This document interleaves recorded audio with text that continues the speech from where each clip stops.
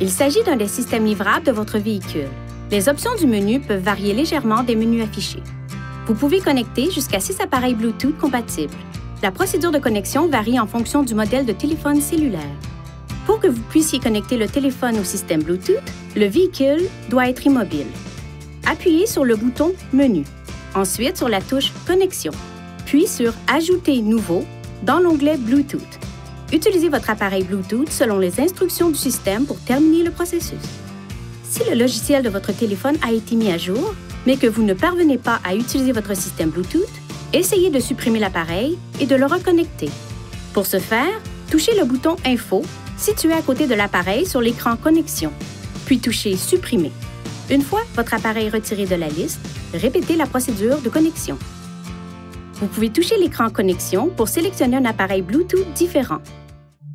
Veuillez consulter le manuel du conducteur Nissan Connect pour obtenir des renseignements importants concernant la sécurité et les limites du système et pour en savoir davantage au sujet de son utilisation et de ses caractéristiques.